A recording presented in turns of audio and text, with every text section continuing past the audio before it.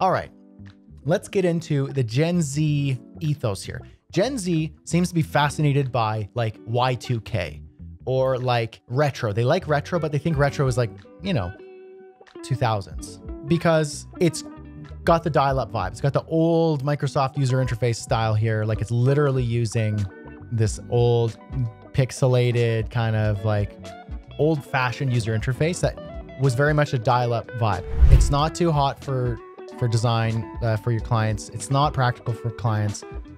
It's not a sleeper. I'm actually going to say this is like um, a bit of a dump.